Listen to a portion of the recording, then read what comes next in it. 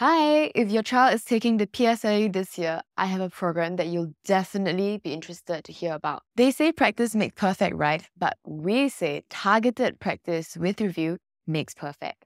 And that's why we'll be covering the last 10 years of PSLE math papers from May to August this year. So, what exactly is the PSLE 10 year series program? First of all, students will be assigned homework in advance in the form of one particular year's math paper and after which, during the lesson itself, our founders, Mrs. Toh and Mr. Wong, will go through the paper in a three hour session. After going through the paper and making corrections, your child can submit the paper for grading.